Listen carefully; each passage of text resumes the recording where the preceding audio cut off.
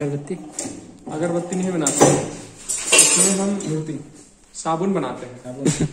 गोबर का साबुन। गोबर का साबुन है ना?